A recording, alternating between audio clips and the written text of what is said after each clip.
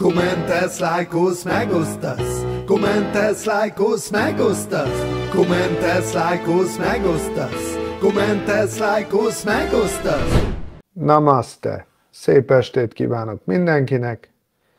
Ez itt az igazi Dopeman TV adása, benne a operatív és a törzsfej Laci király, a guru, akiben csalódni fogsz. Ha még nem tetted volna, akkor iratkozz fel az igazi Dopeman TV YouTube csatornájára, lájkold, diszlájkold, illetve kommenteld annak a tartalmait ízlésed vagy ízléstelenséged szerint, de mindenféleképpen nyomjál rá a kis harangra, valamelyik ujjaddal, és oszd is meg a tartalmakat.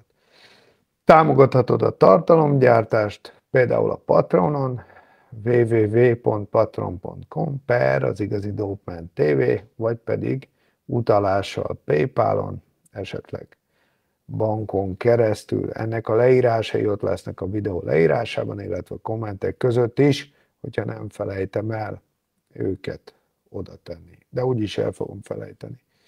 Aztán lehet a csatornatagságnak is a tagja, ott premier előtti hozzáféréseket kapsz, mondjuk aki éppen nézi ezt a felvételt, annak már nem kell hozzáférés és vásárolhat szuperköszönetet. Hogyha élő premier formájában nézed ezt a videót, akkor küldhet szupercsetet, és egyébként állítólag a Facebookon is lehet a videózással pénzt keresni, de ez mondjuk még nem tudom, hogy működik. Próbálom kideríteni. Az lenne a legnagyobb, hogyha végén azzal keresnék egy rakás pénzt, hogy itt ülnék a kamera előtt. Bár sokan keresnek kamera pénzt, azzal gyűlnek, például OnlyFans-en. Van, hogy csak a lábukat mutogatják. Kövessetek be az Instagramon, fönn vagyok a TikTokon, a Redditen, X-en, Instagram threads van egy külön bejáratú Dobviber mafiám, ahhoz is lehet csatlakozni.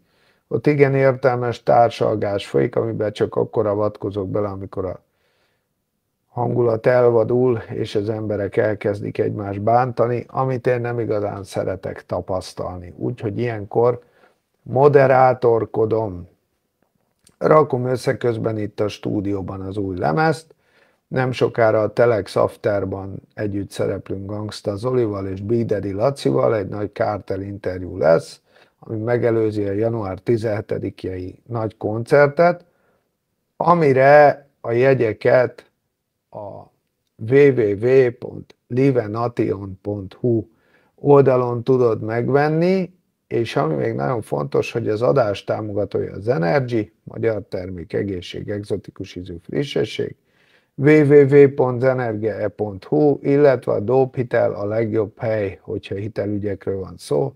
www.dopehitel.hu, ott kell érdeklődni hitelügyekkel kapcsolatban szakértő segítségért, ajvékolva. Azt hiszem mindent elmondtam. Ja, rakom össze az új lemezt? Igen. Nagyon sok dal lesz rajta, annyit találtam, meg annyit csináltam, még egyet-kettőt össze kell rakni, és akkor aztán tök fasza lesz.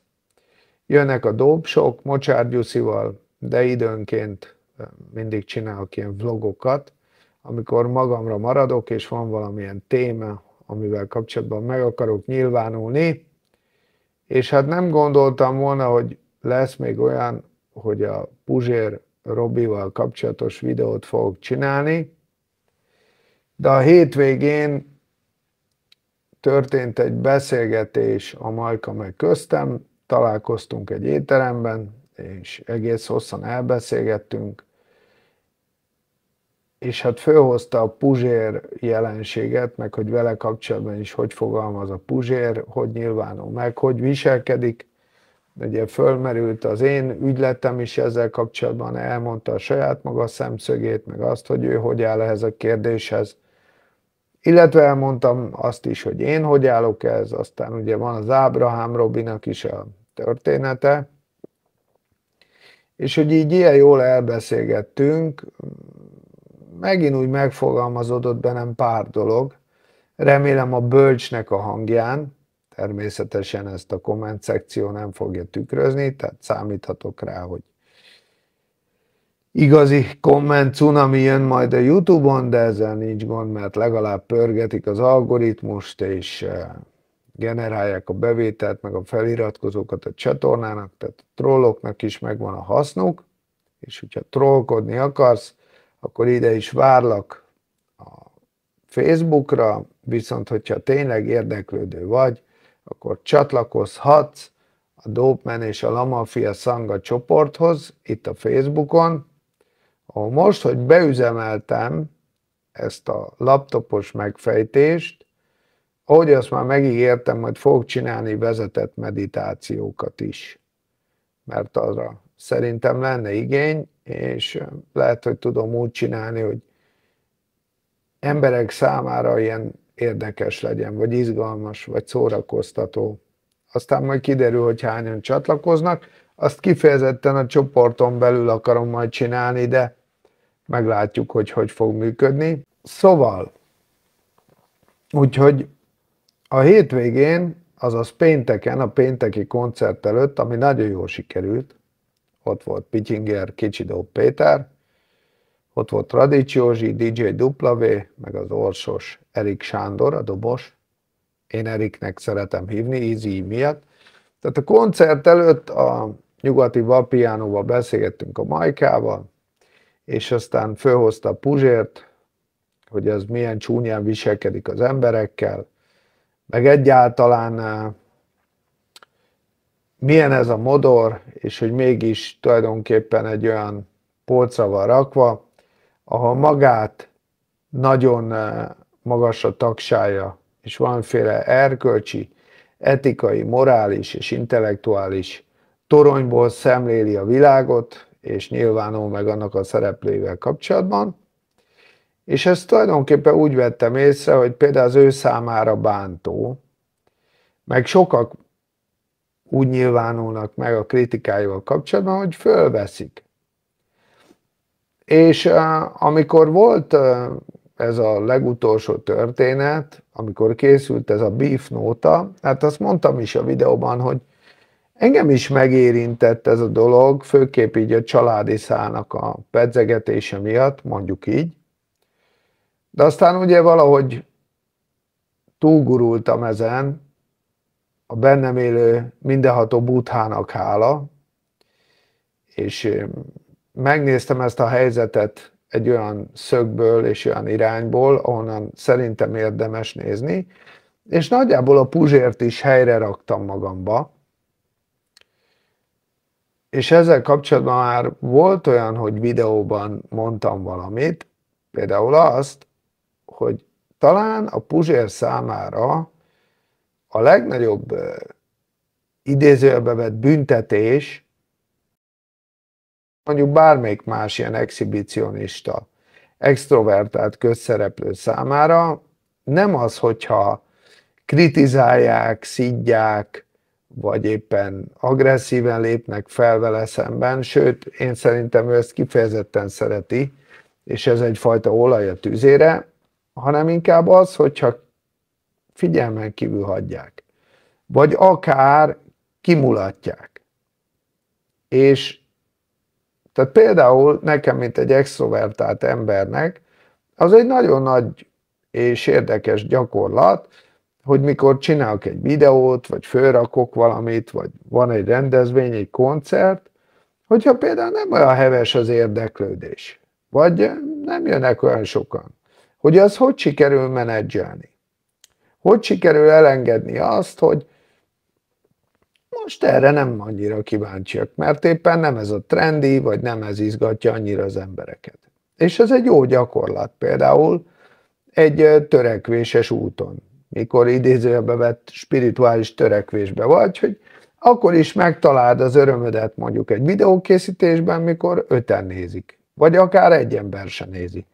Vagy egy koncertre mondjuk tizen jönnek el, vagy 20 vagy 30-an, és aztán a következőre meg 2000-en de aztán utána megint ketten. És amikor ketten vannak, akkor ugyanazt tud csinálni, amit mondjuk 2000 embernél. De az extrovertált emberek számára ugye a visszaigazolás az nagyon fontos, és elsősorban pozitív visszaigazolás, mert valamilyen módon az extrovertált exhibicionista ember amikor a tevékenységét csinálja, akkor a,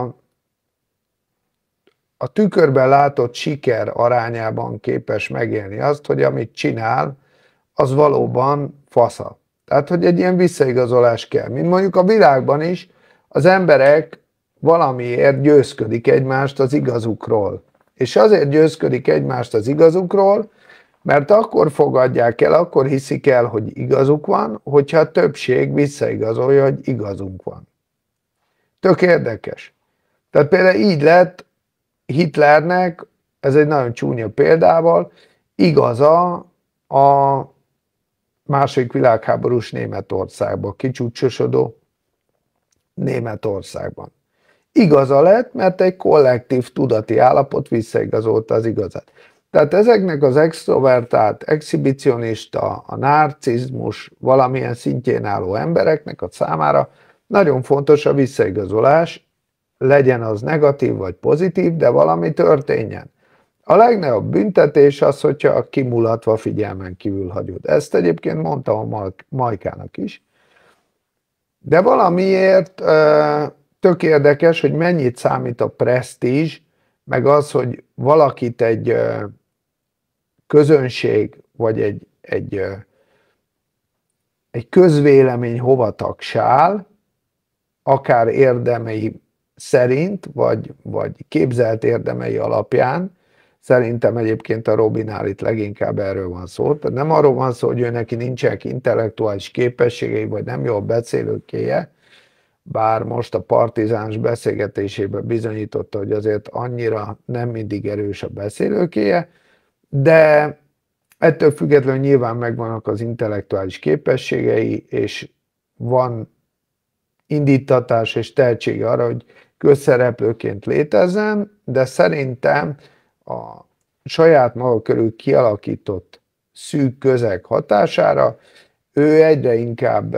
csőlátásban van, és a csőlátás az nagyon negatívan befolyásolja azt a fajta látásmódot, amivel a dolgokat a helyükön tudod kezelni, és annak tudod látni, amik.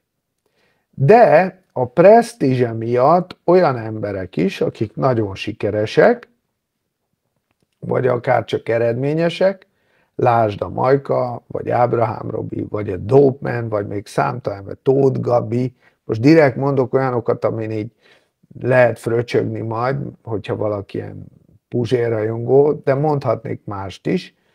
Tehát az a lényeg, hogy ez miatt a presztízs miatt bizonyos emberek úgy élik meg, hogy mégis számít, amit ő mond. Tehát, hogy, hogy mint hogyha az ő véleménye egy mérvadó lenne, bármivel kapcsolatban is. Holott azért, hogyha megnézzük, és mélyen kielemezzük általában a kritikáit, vagy a mondandóját, azon túl, hogy nagyon jól tud vakolászni, meg nagyon indulatosan tudja nyomni, meg nagyon eh, erőszakosan kommunikál, tehát tulajdonképpen egyfajta ilyen, ilyen, ilyen kis gömböcként zabálja föl a világot, ettől függetlenül egy nagyon szubjektív álláspontot hangsúlyoz, ami egyébként az igazsággal a legritkábban van szinkronban, főleg az utóbbi években, azért korábban ez kevésbé volt jellemző, tehát korábban sokkal jobban rálátott a valóságra, most már annyira indulati alapon ítéli meg az életet, és annyira az érzelmektől befolyásolva kommunikál, hogy ez kevésé igaz, de még mindig elhiszik, hogy számít, amit mond, mert nagyon nagy hangerővel tolja, és az internetes valóságban nagyon sokan követik és hozsannázák azt, amit mond. De miért van az, hogy ennyien követik és hozsannázzák? És itt tudok vigaszt adni azoknak az embereknek, akiket ő stílusosan, vagy kevéssé stílusosan eh, kritizál, vagy bánt, vagy abuzál nyelvezetében,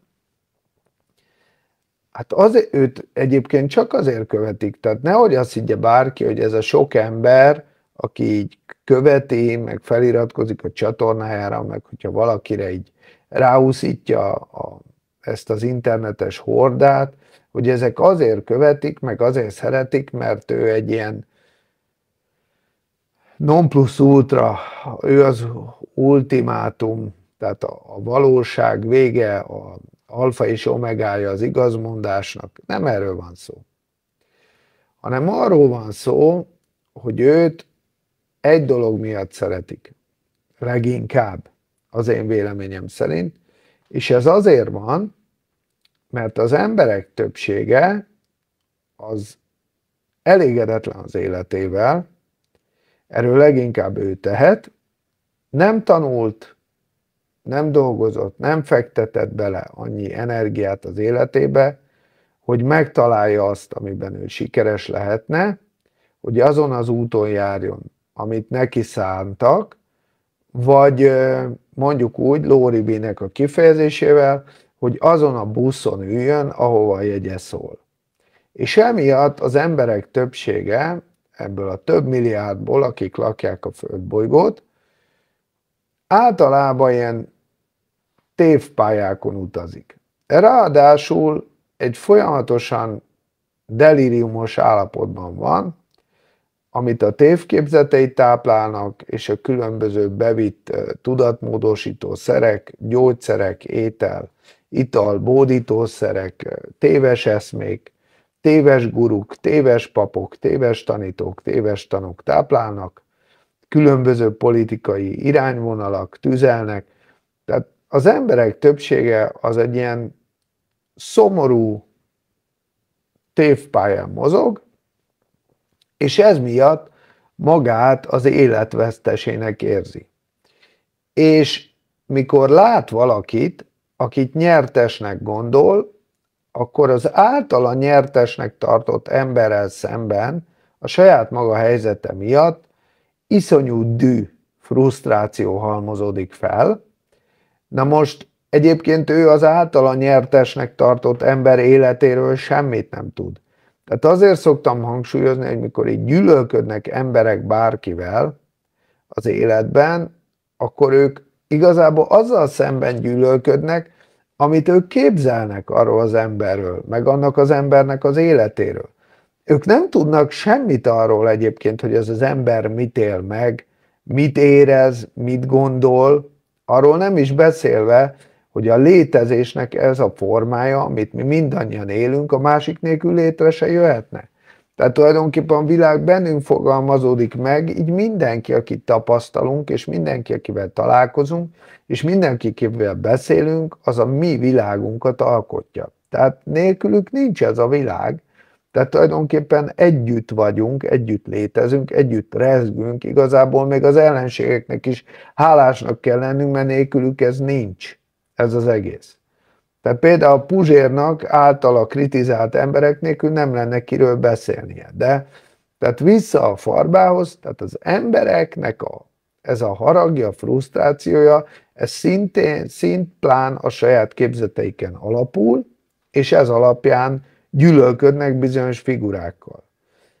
Mert azt képzelik, hogy tartozik valahová, mert azt képzelik, hogy van neki valamilyen vagyona, mert azt képzelik, hogy ezt érdemtelenül szerezte, de közben érzik, hogy, hogy általában olyanokat szoktak kipécézni maguknak, akik úgy mégis sikeressé válnak, vagy látszik rajtuk, hogy úgy nagyobb bennük az egyensúly, vagy hogyha az egyensúly nem is nagy bennük, de valamiért mégis abba bugdácsolnak, amire teremtek, és akkor azt eh, nézegetik, hogy miért van ez ott, miért. És ugye a puzsér az tulajdonképpen ezeknek az embereknek a haragját, a frusztrációját önti szavakba, és üvölti bele a világba egy hangos megafonnal, hogy stílszerű legyek, tehát egy puzsérféle megafon tart a kezében, és tulajdonképpen ő, mint a gyűlölet, a, hala, a harag és a frusztráció prédikátora, vagy profétája kiabálja bele ezt a haragot, dühöt a világba. És az ő követő táborát azt elsősorban ezek az emberek alkotják, akik valamiért magukat a világ veszteseinek gondolják. Természetesen erre mindig azt mondtam, hogy ha nagyon vesztesnek gondolod magad, akkor vegyél egy repülőjegyet, és utaz el mondjuk új Delhibe, sétálj egyet az utcán, és akkor majd újra gondolod a saját helyzetedet a világban, ahol egyébként a világ legnagyobb jólétben élő országainak és népeinek egyik tagja vagy.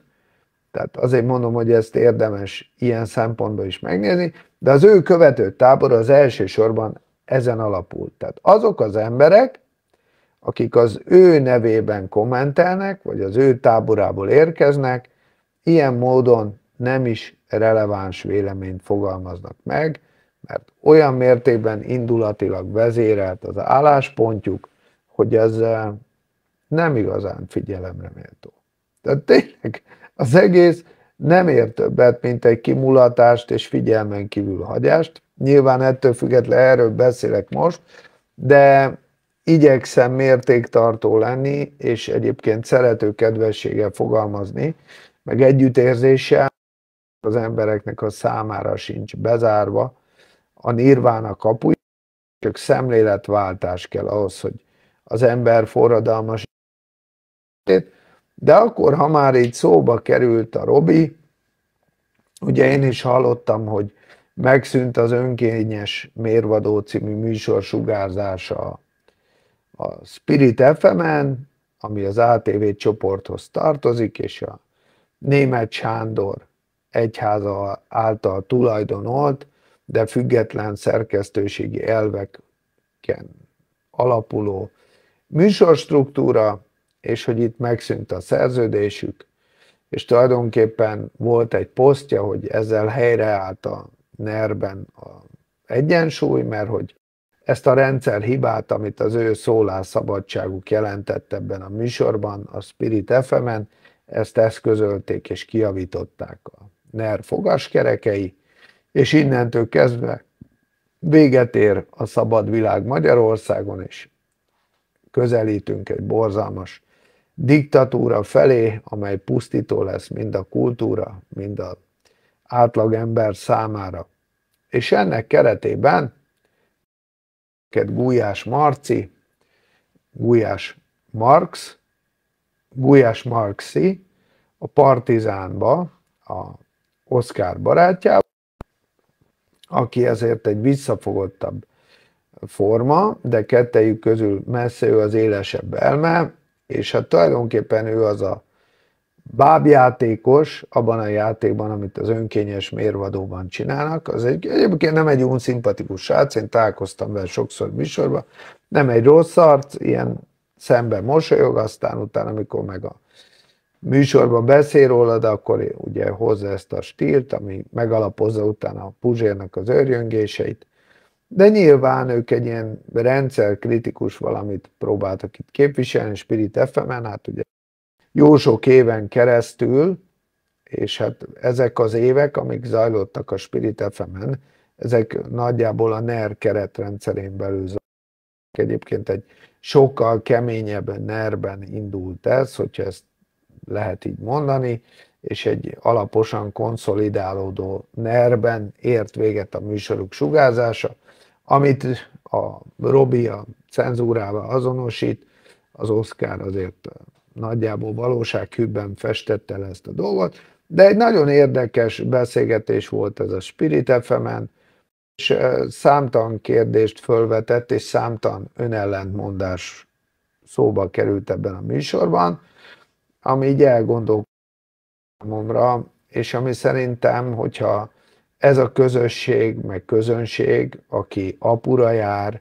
meg hallgatja ezeket a műsorokat, és hozsanáz a metafizika könyvet, meg az összes többit, ha egy kicsit elgondolkodna, és megközelíteni a dolgokat a megfelelő szemszögből, akkor alapvetően ásná alá azt a fajta hát ideológiát, meg eszmerendszert, meg, meg véleményformálást, amit a Puzsérék egyébként ebben a műsorban is képviseltek és előadtak. Tehát nagyon érdekes dolgok voltak, hát próbálom így összeszedni fejből az egészet, mert általában a különböző youtuberek meg tartalomkészítők ilyenkor ezt így megírják a szövegeket ilyen eszély formában, és akkor előadják, vagy épp aktuálisan néznek egy videót, és akkor arra reflektálnak. Hát én vasárnap néztem meg ezt a műsort, ami tegnap volt, és most itt nem is fogom tudni elővenni, és nem is nagyon jegyzeteltem, de nagyon érdekes dolgok voltak, tehát Robi tulajdonképpen elmondta, hogy ő egy fügefa levél, ami arra van, hogy a nernek a csúnyáját elfedje a Spirit fm tehát hogy tulajdonképpen ő azért beszélget, vagy beszélhet a Spirit fm mert fügafa levélként elfedi a nernek a csúnyáját, és ezzel bizonyítják, hogy ez nem diktatúra, hanem egy szabad ország, ahol szólásszabadság van. Na most ettől függetlenül őt, mint felszentelt szabadságharcost, demokratát, polgári értékek képviselőjét, és ugye a demokrácia fölkent védő szentjét nem zavarja egyáltalán, hogy egy olyan csoportnál dolgozik, ami ezt az idézőjelbe vett feudális rendszert, ezt imádják hajtogatni, hogy a feudális rendszert kiszolgálja, és ő bárhova elmegy dolgozni, ahol fügefa levél lehet. Hát itt már volt egy hatalmas ilyen ellenmondás számomra, tehát egy igazi forradalmár számára a fügefa levél szerep az nem vállalható. Ez nagyon fontos alapvetés. Tehát ez egy meghasonlás. Ha te most forradalmár vagy, lázadó vagy, és ráadásul egy olyan világban élünk, ahol eh, mondjuk ki, hogy a nyilvánosság formái teljes mértékben adottak, mert tartalmat gyárthatsz a YouTube-ra, a Facebookra, a Twitterre, az Instagramra, a TikTokra, és mondjuk ki őszintén és hangosan, hogy tízszeres, meg százszoros, meg ezerszeres elérést tudsz produkálni egyébként komoly kereskedelmi tévék által gyártott műsorokhoz képest, sőt, a komoly kereskedelmi tévék által gyártott műsorok is ezeken a platformokon érik el az igazán nagy nézettségeket, akkor fogadjuk el, hogy egy forradalmárnak a fügefa levél szerep az legalábbis nem vállalható. Nyilván ez még mindig nem egy diktatúra, mert egy diktatúrában a diktatúra a platformokat fékezi, akadályozza, adott esetben betiltja, létrehozza a saját platformjait, és úgy intézi, hogy ott olyat csinálhatsz, ami neki tetszik, vagy amit ő elfogad. Lást Kína vagy akár Oroszország, de még Oroszországban is van ellenzéki nyilvánosság, tehát még az sem egy teljesen elvakult diktatúra. De mondjuk a kínai császárságban vagy népköztársaságban ez már máshogy működik, nem beszélve Észak-Koreáról, ahol meg egyáltalán nincs ilyen, de ami nagyon fontos, hogy Magyarországon ez ugye nem így történik, hanem mindenki beszélt és mondhat szabadon, amit csak szeretne, sőt, bizonyos kormány meg rendszerkritikus figurák, azok kegyetlen bevételt tudnak monetizálni a Youtube-on, meg a különböző platformokon keresztül is. Arról nem beszélve, hogy a különböző kereskedelmi tévécsatornákban is rendszeresen meghívják őket, nem csak az RTL klubra, a klubra, ami mondjuk úgy függetlenebb véleményt képvisel a kormánytól, vagy kritikusabb, de a TV2-re is. Tehát a TV2-n is van olyan első vonal a sztárnak számító ember, aki abszolút kormánykritikus álláspontot képvisel. Tehát ami a lényege, az az, hogy én azt gondolom, hogy ez a fügefa levél szerep, ez egy forradalmár számára nem vállalható. Ez egy önellenmondás, egy teljes mértékben farizeus álláspont, és abszolút megkérdőjelezi azt a általa hangoztatott demokráciáért való agódást, amit egyébként képviselni hivatott. de ő dolgozik bárhol. Neki mindegy, hogy Index, Magyar Hírlap, Spirit FM, sőt elmondta, hogy ő szíve szerint örökké ott dolgozna, tehát hogy ő addig ott dolgozik, amíg ki nem rúgják. Na most ezt azzal magyarázza, hogy, hogy ő megnézi, hogy meddig húzhatóak a határok. Ő, ó, ő, ő, meddig húzható a határ. Nem azt nézi meg, hogy meddig húzható a határ, hanem szeret kényelmesen dolgozni, hogy megkapja az infrastruktúrát, kap egy vaskos fizetést, és sztár státuszban tolja maga igazát, a saját maga közönség, aki őt követi, bőnyállal benyeli neki torokra. Ez a Franco.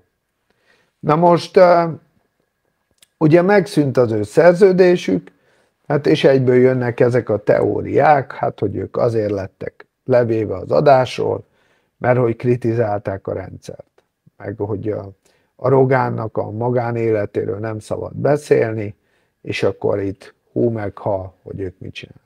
Hát most legyünk őszinték, az ő rendszer kritikája az már ment a Simicska féle hírtévén, ami egyébként szintén NER pénzből volt működtetve, tehát amíg a Simicska tudta működtetni a hírtévét, az a NER által felhalmozott vagyonból volt működtetve, tehát tulajdonképpen a idézőjelbe vett közpénzből elsíbolt vagyonból fizették ki a Puzsérnak a fizetést. Mint ahogy állítása szerint most is kifizették neki.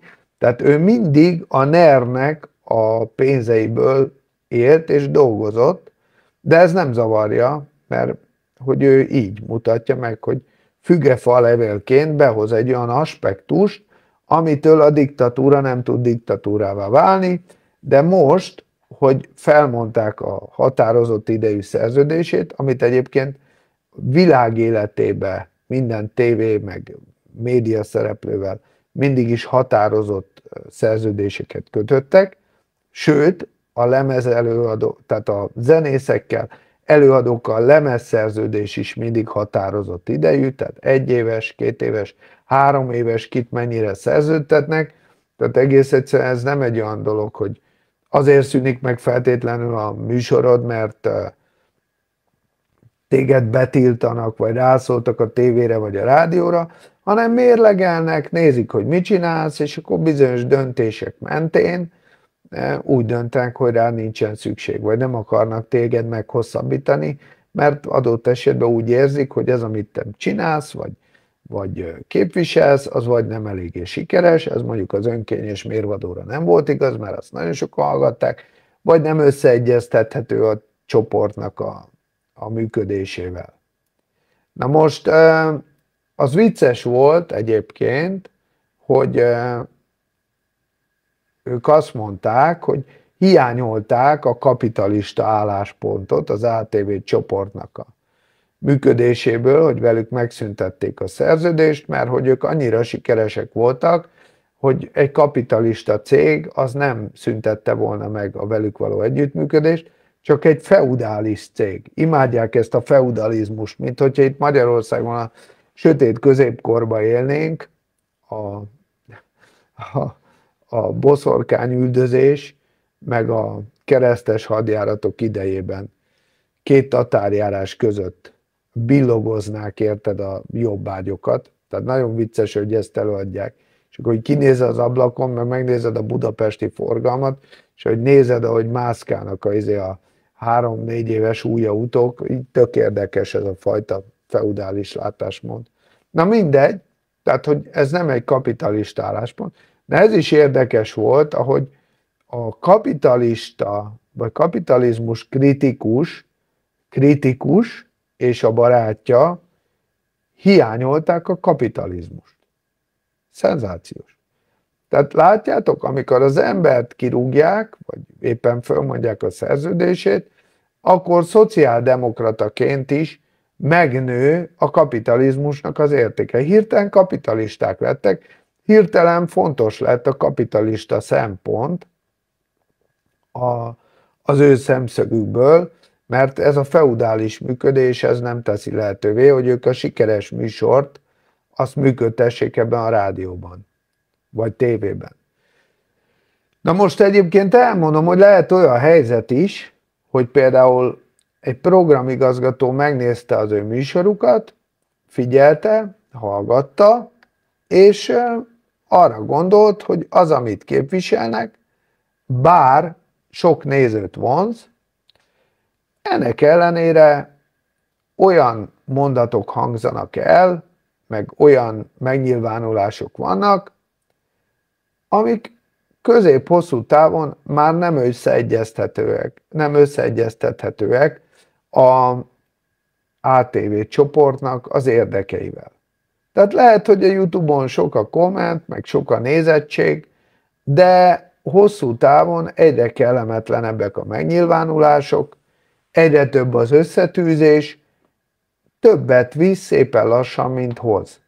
Tehát alapvetően azt azért ne felejtsük el, hogy a ATV csoport, az most mindegy, hogy hova tesszük azt a fajta kereszténységet, ami ez mögött van, de egy keresztény értékrenden megfogalmazódott valami, és nem biztos, hogy ezt a fajta elvadulást már szerették volna, hogy ott történjen. Ugye nagyon vicces volt az is, ahogy a Gulyás Marci elkezdte nekik mondani, de hogy titeket cenzúrázni akartak, és akkor elkezdtek beszélni arról, hogy azért nem adták le élőben a műsort, mert hogy a csatorna kivághasson belőle, hogyha valami nem tetszik neki. És kivágtak belőle? kérdezte Gulyás Marci. És akkor mondták, hogy hát igazából sose vágtak ki, csak azért az borzalmas volt, hogy azért adták le késleltetve, mert hogyha úgy van, kivágnak belőle, és egyszer valamit kivágtak, de Robi kiverte a balhét, és akkor visszarakták. Na most itt megint az van, hogy ez tök aranyos ez az áldozat szerep, hogy így állítjuk be ezt, hogy ez minden egyes kereskedelmi médiában, a világon nagyjából így működik, hogyha élő műsort csinálsz, akkor alapvetően vagy meghatározzátok, hogy meddig és hogyan lehet elmenni, vagy pedig, ha nagyon szélsőséges a megnyilvánulásod, és itt nyilván erről volt szó, akkor azt csinálják, hogy leadják felvételről, és támadható van, ami mondjuk nem védhető perrel, vagy pedig valamilyen módon, ha peresítik, akkor nem tudsz mellette kiállni, úgy vagy megvédeni, hogy ez működőképes legyen, akkor azt kivágják. Ezzel mindenhol élnek. Nem, hogy rádióba, hollywoodi stúdióba, filmekből kivágnak dolgokat, mozifilmekből. Ez így működik, ez nem az Orbán féle diktatúrának a jele bazzeg. Hogy te csúcsgázért gyártod a embereket szídó műsorokat, a podcastet a rádiónak, és akkor azok azért megnézik, hogy mit beszéltél, mert ugye nyilván arról szól a műsor, hogy eh, visszafogottan elküldesz mindenkit a kurva anyjába, mindenkiről elmondod, hogy micsoda szar, meg egy forintot nem ér, meg nernyalonc, meg sekszopó, meg szarrepper, meg szar nem ér meg minden, és akkor nyilván megnézik, hogy melyik az, amit nem tudnak megvédeni, hogyha egy per történik, vagy mit olyan médiahatóságnál van, bejelentés történik. Hozzátéve az, hogy egyébként ezt a saját platformjukon le tudták közölni, vagy ki tudták adni, mint mondjuk ez egy index cikknél is elhangzott. Na most ugye a Gulyás Marci az erre azt mondta nekik, hogy hát de hát látjátok, itt nálunk a Partizánál ilyen nem történhet. Itt azt mondtok, amit akartok. Hogyha idejöttök, és, és a, nem azt mondhatnátok, amit akartok, akkor én magamat vonnám felelősségre, hogy ilyet hogy lehet. Na most itt akkorát ferdített a Partizán Marci, hogy öröm volt nézni, egyem a szívét, mert tehát az nem ugyanaz, hogy te meghívsz valakit egy műsorba, és akkor ott, mert ez annak a kapcsán szóba került, hogy ugye a Puzsér azt mondta, hogy a német Sándor az az antikrisztus, és ezt abban fogalmazta meg, hogy ő azért van ilyen véleménye a német Sándorról, mert hogy kapitalizálja a hitet, a vallást, és ezáltal ugye vagyont halmoz föl. Tehát magyarán, hogy tőkésként működik, és ezzel eh, kritizálta a neoprotestáns egyházokat, a kálvinizmust és a többit. Tehát, hogy, és akkor kérdezte a Gulyás Marci, hogy hát ezt kimondtad a műsorban? Hát ott nem mondtam ki, mert én a antikri, ő az antikrisztusnak is dolgozik. Tehát ő például az általa sátánnak tartott embernek is szívesen a fügefa levele. Tehát a sátán faszának az alsó nadrágja ő. Az is szívesen. Ő a sátánnal is ott ül, és akkor így mondja a sátának. De azért nem mondja ki, hogy sátán, érted? Csak olyan körbeírja, hogy tudja, hogy sátán. És akkor kérdezték, hogy hát ezt, ezt így elmond, hát így nem mondtam, de mondtam, és azt kivág, nem vágták, de kivághatták volna. Az volt. És akkor erre mondta Marci, hogy hát itt látjátok, itt azt mondhatok, amit akartok. Csak azért az is nagyot falsult, mert az nem ugyanaz, Marci, hogy te meghívsz valakit egy interjúba, és akkor ott a kérdésedre elmondja rólad a véleményedet, vagy a véleményét, és megint más az, hogy valakit fölveszünk dolgozni, mondjuk a partizánba, és ott dolgozik, és nagy nézettség és elérés mellett folyamatosan arról beszél, hogy a Gulyás Marci igazából egy kamu kommunista, aki csinált egy abszolút tőkés alapon működő, mindenféle bevételeket maximalizáló, monetizáló céget, amit egyébként amerikai pénzből is finanszíroznak, sokszor, ez csak véleményem, mielőtt perelnék, elképzelések és beszédek szerint CIA által támogatott szervezetekből pénzzel tömnek tele, és igazából a Marci nem is marxista, hanem egy kapitalista, aki marxistának adja elő magát, és abból csinál üzletet, hogy azt játsza, hogy ő egy közmédia.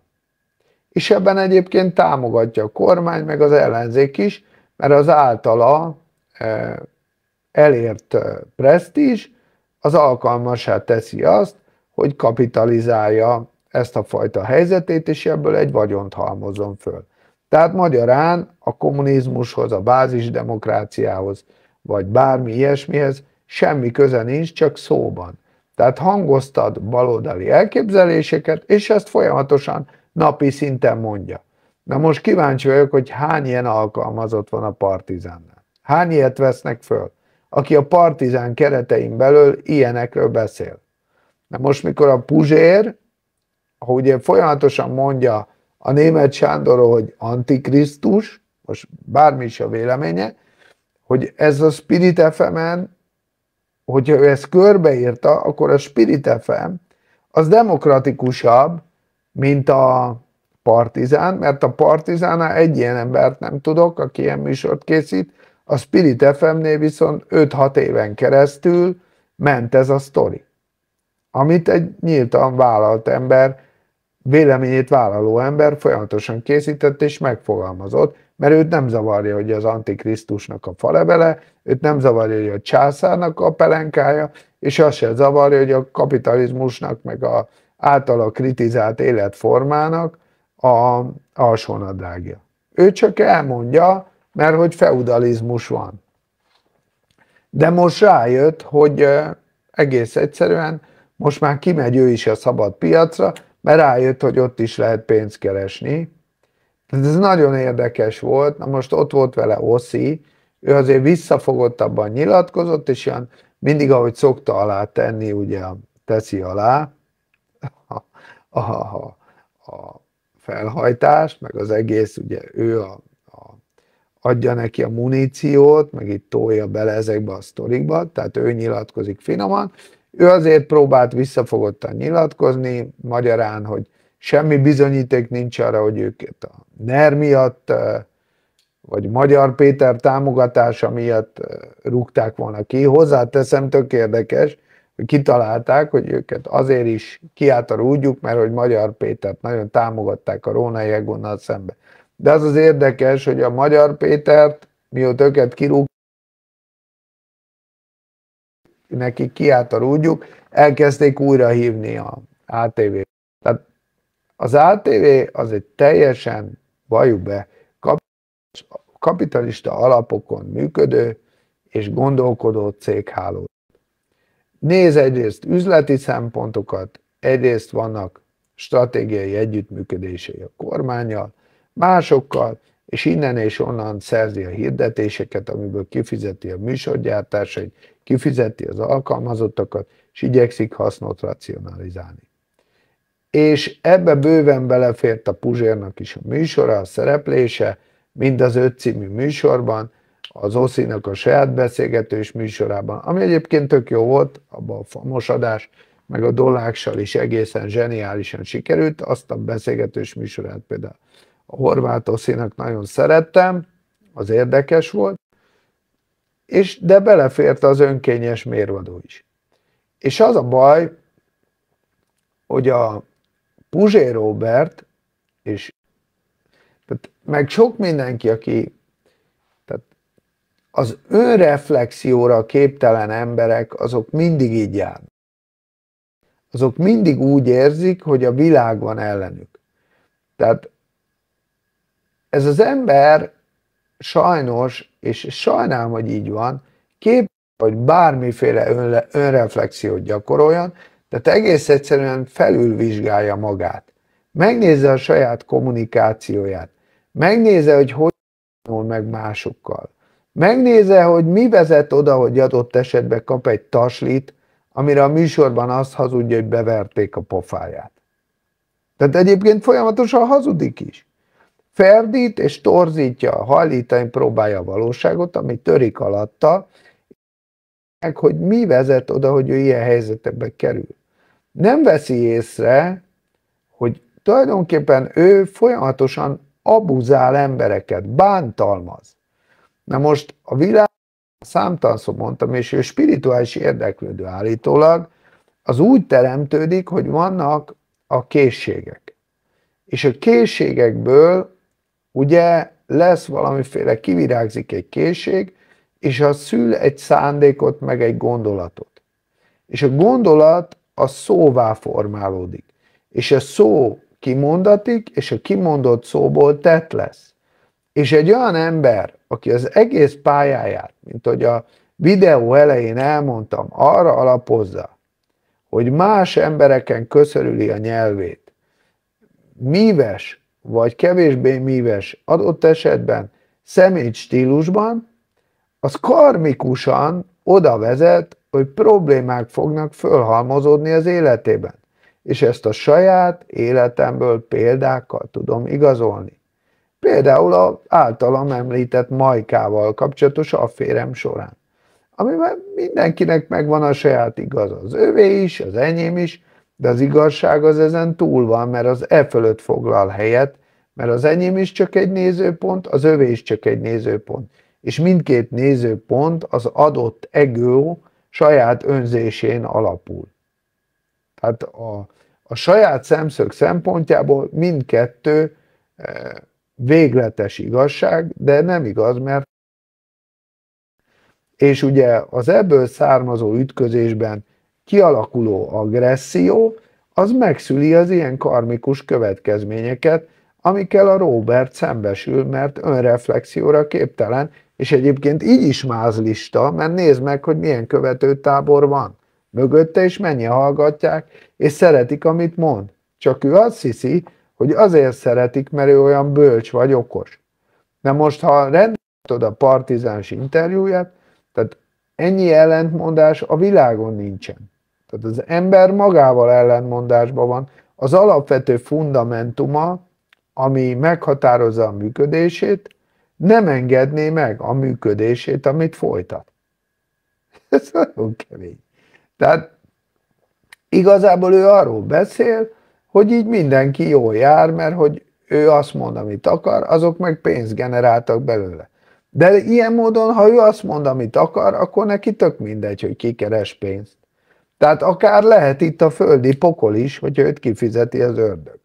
Nagyon érdekes egy, egy szemlélet ez, és mondom, önreflexióra teljességgel képtelen, gőgös, öntelt emberek, az egész körük egyébként, meg ez az egész világ, amit így megjelenik körülöttük, vagy általuk meghatározott, vagy ehhez bármilyen módon kapcsolódik, és ülnek egy ilyen tűtoronyba, mint a szarumán, ott az orkok felett, és azt hiszik, hogy kurvára képbe vannak a világgal. És uh, sokszor ezek az emberek pozícióba kerültek, és ebből lettek már ilyen világégések, hogy ilyen meg a saját körükbe okoskodó világfejtő emberek hatalomhoz jutottak, és a legszörnyűbb világot prezentáltak az emberiség számára. Tehát ez a baj az ilyen önreflexióra képtelen csávokkal, mint a Robi. Mert ha egy kicsit elgondolkozna, hogy a pofonjához is az vezet, hogy ő előtte hosszú éveken keresztül abuzál embereket. És ez nagyon, ők abuzálnak. Például ugye arra azt mondják, most az volt a legszebb, mert ugye azért szóba került, hogy ők hogy beszéltek emberekről, meg emberekkel kapcsolatban, hogy nyilvánultak meg. És most már odáig jutottak, hogy ez csak egy szituáció. Ez csak szarkazmus. Ez csak humor. Most, most humor, szarkazmus, szituációs gyakorlat, ez csak egy szerep, vagy ez a véleményük. Most már azt se lehet tudni, hogy igazából mi az ő véleményük. Hova lehet ezt az egészet helyezni? Hol áll? Mi ez? Tehát, hogy nagyon érdekes volt ez az egész beszélgetés, de totálisan kihozta a Puzsérnak ezt a farizeus képmutató mi voltját, a, valamilyen módon a partizánnak a működésére is rávilágított, és arra is rámutatott, hogy nem különb senki a Deákné Vásznánál. Mert a különbséget, a megkülönböztető, nem az elítélő tudatot, de a megkülönböztető tudatot, azt úgy tudom megmutatni a világban, hogy én totálisan másképp viselkedem, mint az, akinek a viselkedését, meg a működését nem tartom követendőnek. Tehát például, mikor most áttérek arra, hogy mikor az Orbán megfogalmaz egy olyan fogalmat, ami szerintem egyébként nem teljesen jó van megfogalmazva, de valamilyen formában talán találó, hogy semleges politika. Ezt, ezt egy ilyen arc, mint mondjuk a Robi, vagy ezek a fazonok, nem tudják megfelelően elmagyarázni, hogy mi az, hogy semleges politika. Mit akar ezzel mondani? Lehet, hogy még ő sem mondta el teljesen jól, de akkor elmondom én. Tehát például egy semleges politika, és ezért vannak az emberek képzavarban, nem értik meg, hogy miről van szó, mi merre tart. Szóval egy semleges politika, az tulajdonképpen azt jelenti, hogy, de ezt mondta is az Orbán, hogy nem köteleződöm el semmilyen irányba. Tehát magyarán a, az az elképzelés, és az most már hosszú ideje rajzolódik ki, hogy Magyarország saját jogán döntéseket hozva a kereskedelem, a kapcsolatteremtést minden ajtaját, minden irányba nyitva tartva, vagy adott esetben kaput nyitva, beengedje Magyarország számára gyümölcsöző lehetőségeket. Ezt azért teszi, mert a eddig alapvetésnek kikiáltott Európai Uniós működés amit elsősorban amerikai érdekek határoznak meg, és itt szinte teljesen mindegy, hogy a Kamala Harris vagy a Trump lesz az elnök, tehát lehet, hogy kicsit az Orbánt jobban fogják kezelni, de azt fogadjuk el, hogy az amerikai direktíva az arról szól, hogy most itt zajlik több háború a világban. Orosz-ukrán, meg mindenféle konfliktus. De egyet kell megérteni, hogy a háborúnak nem az az igazi nyertese, aki győzedelmeskedik. Tehát nem a, az a nyertes, aki kimarad, nem hoz véráldozatot, adott esetben hátulról tüzel, sutok fülbe, ad információkat, talán fegyvert értékesít, és kimarad a háborúból, és mikor a háború elpusztítja az országokat, akkor megoldja az újjáépítést, és üzletet csinál a háborúból.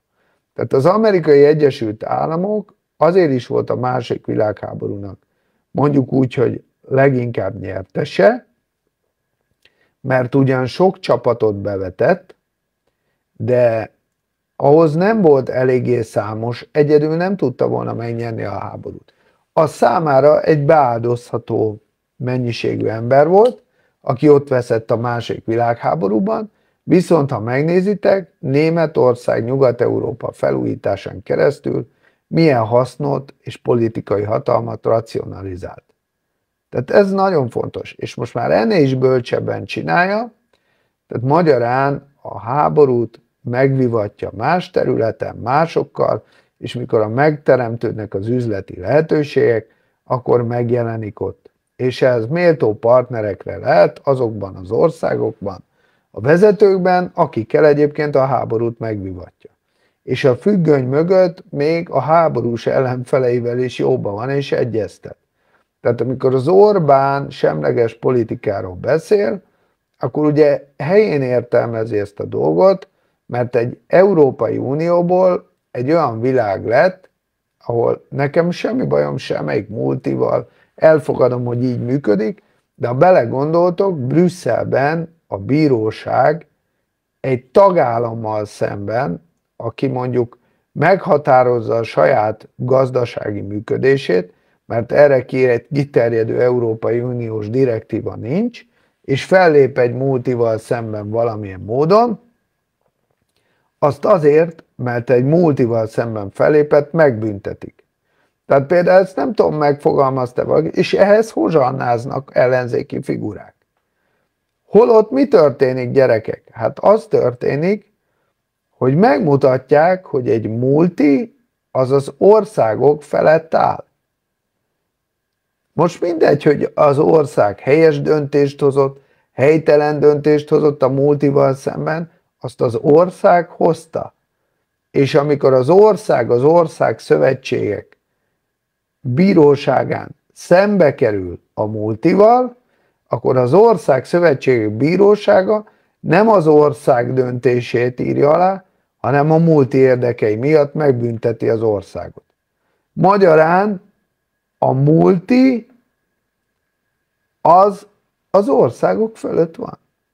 Tehát a semleges politika az azért van, mert az ország szövetség működése az szembe megy azzal az alapvetéssel, ami alapján az ország szövetség működését meghatározták. Tehát erről szól a semleges politika, hogy bárkivel üzletelek, bárkivel teremtek kapcsolatot, amíg nekem az hasznos és gyümölcsöző, és amíg az én pozícióimat erősíti, és az ország szövetséggel részese maradok, vagy azt kívánok lenni, akkor is nagyobb szabadságfokkal leszek a tagja, és úgy vagyok benne, hogyha számomra előnytelnek a körülmények, akkor akár kibírok belőle lépni. Ezt jelenti, hogy semleges politika. Tehát nem kötődöm sehova. Nem érzelmi, nem ideológiai alapon politizálok, hanem haszont maximalizálok. Ezt most mint ellenző mondom, tehát nem azt mondom, hogy ez jó vagy rossz, bár szerintem a pragmatikus politikának van itt az ideje, mert minden normális hatalom gyakorló tudja, hogy a klasszikusan értelmezett baloldali, jobboldali eszmerendszereket egy hatalom gyakorlásban vegyíteni kell ahhoz, hogy egy hatalmat normálisan lehessen gyakorolni. És ezért érdekes az is, hogy itt, eh, ha megnézed, Puzsér például támogatja Magyar Pétert, mint egy őrült, vissza hozzá, ugye. Teljesen bele van szerelmesedve. És uh, tulajdonképpen kérdés nélkül követi. És erre ugye bátorítja a őt követőket, meg azt a fajta nyilvánosságot, amit ő ural. és látjuk is, hogy a Magyar Péter erősödik meg minden. De látod, tök érdekes a valóságlátása, mert ha ezt is jól megnézitek, szóval jelen pillanatban ugye Magyarországon az ellenzék megszűnt. Most voltam több műsorban, ahol erről beszélgettünk, hogy hogy följött a Tisza párt, meg hogy mennyire működik nekik ez az egész dolog, és hogy már megközelítették a Fideszt, és hogy adott esetben a Fideszbe el is kezdtek emiatt agódni. És ezt sok szempontból megközelítettem, de tök érdekes, hogy a rajongók, akik Magyar Péter fanatikusok, vagy akár a Puzsér, azok nem veszik észre, hogy ez igazából nem Fidesz és ellenzék szembenállása működésben, elképzelésben, sokkal inkább hasonlít, mit tudom, mikor van, és most a maffia családot nem azért mondom el, hogy, de hogy az, amikor a maffia családban a vezető brigád, mondjuk kiöregszik, meggyengülni látják a fiatalok, és a másodvonalas vezetők nekiugranak a vezetőknek.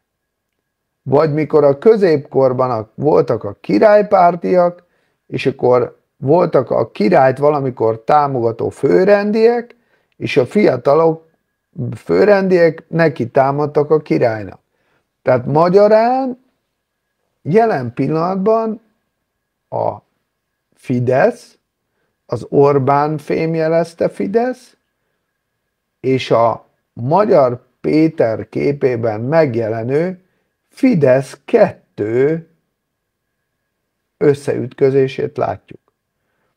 Tehát ha valakinek a fidesz vagy a NER működésével problémája van, vagy rendszerkritikus, mint a Puzsé Robert, akkor tök érdekes, hogy hogy tud beleállni abba, hogy igazából nem a fidesz szemben lép föl, hanem a klasszikus értelemben vett Fidesz szárnyai alatt kinőtt Fidesz kettőt áll be támogatni, ami egyébként ugyanúgy fog működni, már most lehet látni, mint a Fidesz.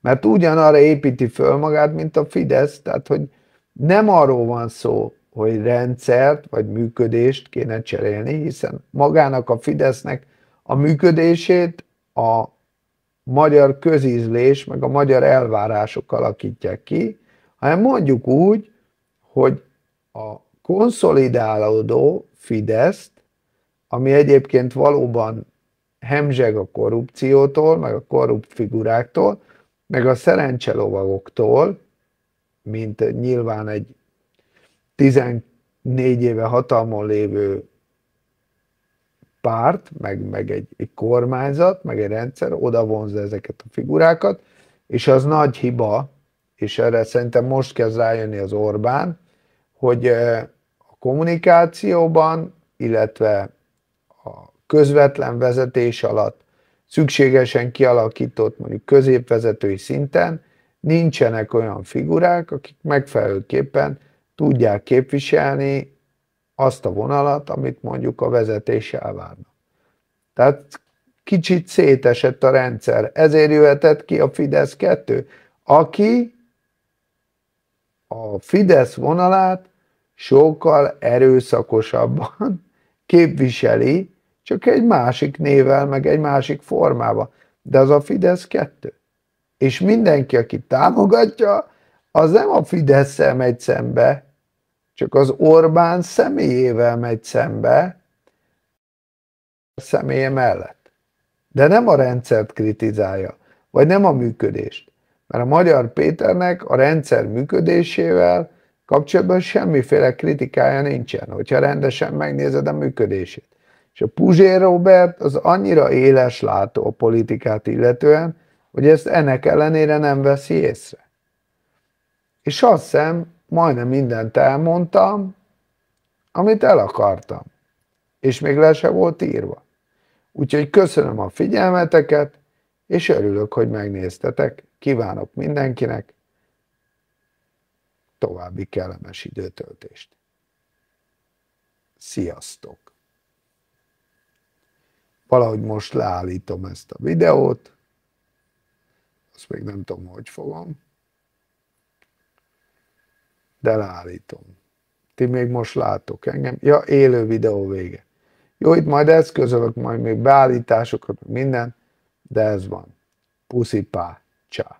Kommentálsz, lájkolsz, megosztasz. Kommentálsz, lájkolsz, megosztasz. Kommentálsz, lájkolsz, megosztasz. Kommentálsz, lájkolsz, megosztasz